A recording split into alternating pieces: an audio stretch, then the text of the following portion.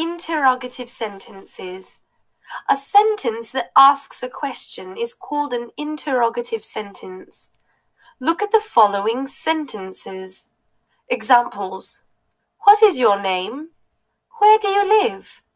How many students have attended the class today? Who is knocking at the door? Have you seen the movie Matrix?